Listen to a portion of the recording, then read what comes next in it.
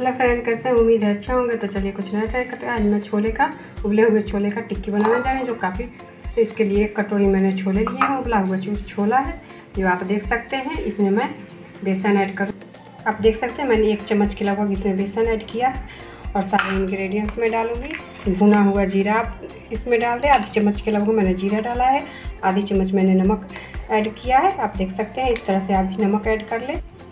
आधी चम्मच से कम मैंने हल्दी पाउडर इसमें ऐड किए हैं। इसी तरह से आप भी ऐड कर लें। गरम मसाला मैंने आधी चम्मच के लगभग ऐड किए हैं। थोड़े से मिर्च पाउडर आप डाल दें। टिक्की बनाना है तो टेस्टी भी होना ज़रूरी है। तो चलिए इन सारे इंग्रेडिएंट्स को मैं मिक्स कर आप देख सकते हैं, मैंने इस तरह से इसे गूथ लिया है। अच्छे से मिक्स कर लिया है। और इधर देखिए, मैंने कुछ टिक्कियाँ बना कर रखी है। आप इसी तरह से टिक्की बना करके छोटा छोटा इस तरह से साइज़ करके टिक्की की थूप दे दें।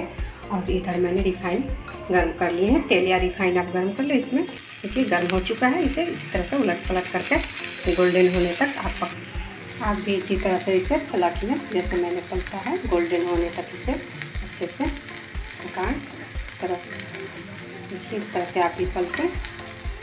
पूरा गोल्डन दोनों तरफ़ से अच्छे से सीख जाए। उसके बाद में इसे आप उतारें। आप देख सकते हैं, मैंने टिकियों को निकाल लिया है। इसके ऊपर से आप इस तरह से चिप्स ऐड करें, थोड़े से छोला।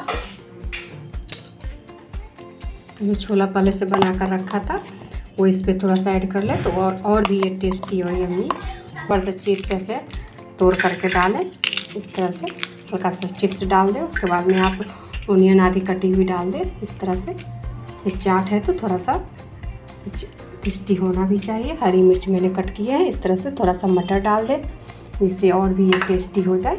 दही आप ऐड कर दें इसके ऊपर। टिक्की चाट है तो इसको तो क्रिस्पी टेस्टी होना ही चाहिए। इस तरह से आप भी जल्द सब कुछ डालते जाए। मिर्ची पाउडर मैंने पहले ही सारे मसाले ऐड कर दिए हैं। इसमें थोड़ा सा चाट मसाला ऐड कर दें।